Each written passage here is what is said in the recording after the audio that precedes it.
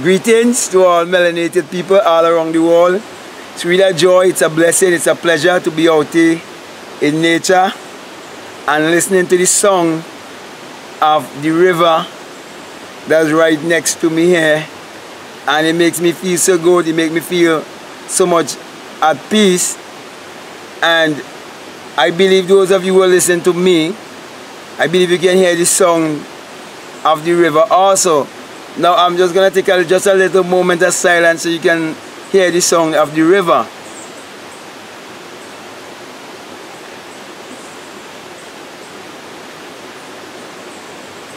Yes, I guess you would have heard the song of the river and soon I think I'll be doing some more videos back in the, the river again, bringing nature into your homes. You know, um, this morning it's what people normally refer to as Sunday morning. But you know, to me, every day is Sunday because there could never be a day without the sun. Okay? Doesn't matter, uh, matter if it's winter or if it's autumn or springtime or whatever. Once it's a day, it is because the sun has risen. There has been the rising of the sun. Even if you, you, you, you haven't seen the sun, in the sky, the sun is there. And that's why you have a day. That's why the Bible tells you that the sun was made to rule the day.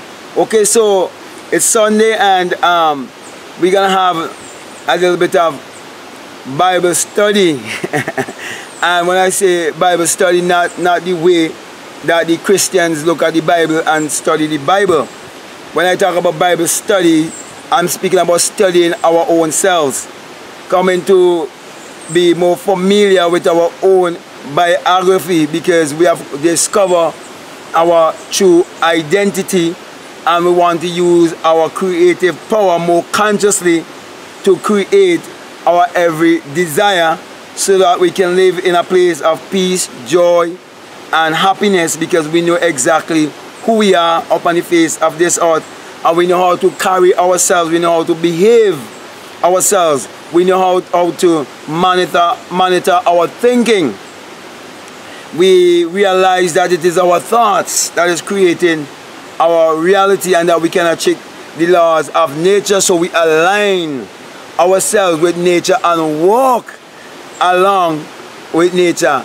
So with that being said, my brother my sister, I want to speak to you concerning a particular scripture in the book of Revelation. It's Revelation 19 Okay, and 13 I want to focus on, but I think I read from verses 12 to you.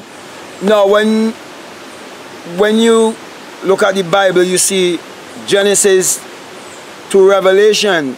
Genesis spelled G-E-N-E-S-I-S. Genes is. So uh, Genesis is like the seed and Revelation is like the fruit. So basically the same thing. So Genesis and Revelation is basically teaching the same thing and the entire Bible is dealing with the imagination of man because God is your own human imagination, the creator in man. So whenever you read in the Bible and you read about God and you read about Jesus Christ and you convey within yourself that it's speaking about a, a power or a man outside of yourself 2,000 years ago, you have the wrong God. You're serving the wrong God because God is within and is your own human imagination which is the creative power in every man. So now I'm gonna I'm gonna read to you from from Genesis. I have my phone right here. I'm gonna read from Genesis 19 chapter 19 verses 12 and 13 okay? This is what it says. His eyes were as flame of fire and on his head were many crowns and he had a name written that no man knew but he himself. My brothers and sisters is teaching you that when you come to experience who you are and you discover this fire that is within you and you awake within yourself like a fiery being. When you speak about your eyes, your eyes is, speak, is, is your doorway to your soul. It is teaching about this fiery being inside of you, being awakened inside of you. And you become one with that fire. You, you, you merge with that energy. And when that happened to you, you will come into your true identity. That's why I say you have a name. Name is speaking about identity and only you alone will know because it's only through experience. Because the greatest mystery can never be known intellectually. It must be experienced. So it is discovering your name, discovering your identity, discovering who you are. So the only fundamental sin upon the face of this earth is not knowing who you are. That's why the universal question is, who am I? Everyone is in search to know who am I? To, to, to discover their true self. Because we all was born in sin and shape in iniquity. And when it say, says that we're born in sin and shape in iniquity, it is speaking about we born in a state of forgetfulness.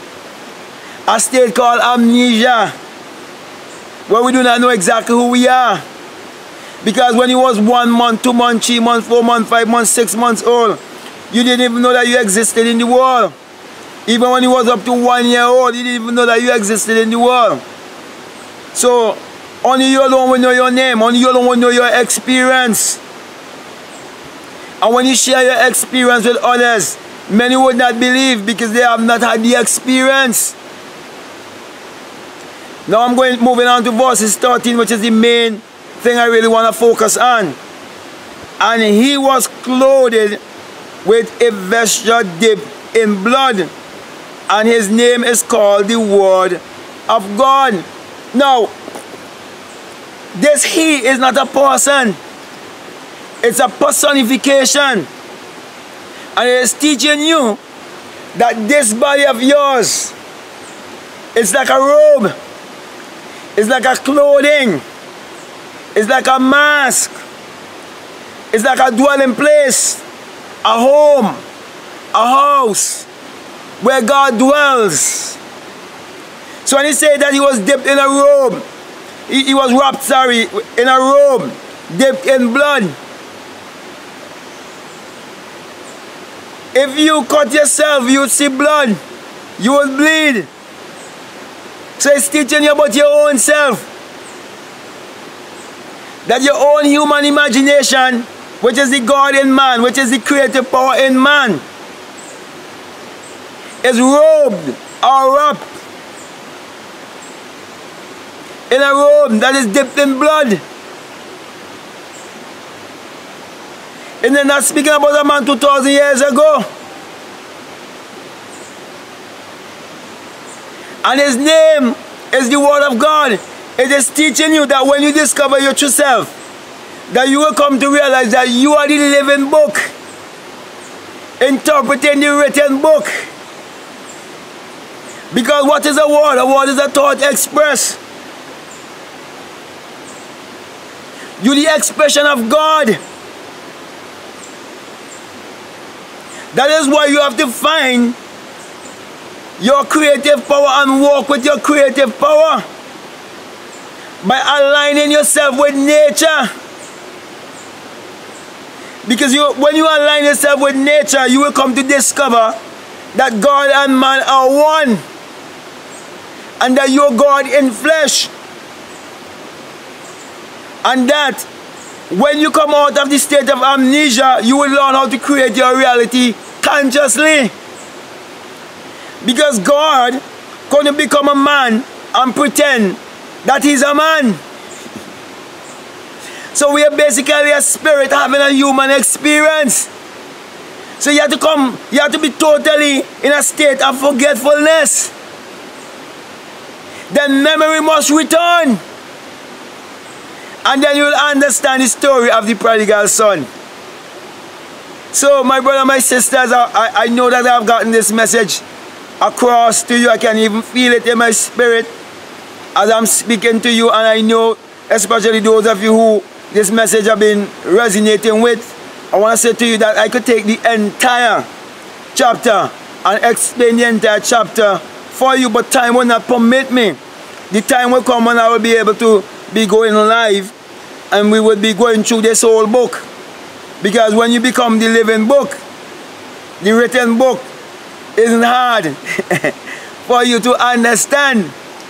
Because it's not, it's not about being intellectual, but it's about learning to align yourself with nature so that you will be able to align yourself with the creator who is in you because you are coming to know and you are coming to discover the power of oneness. The one universal consciousness.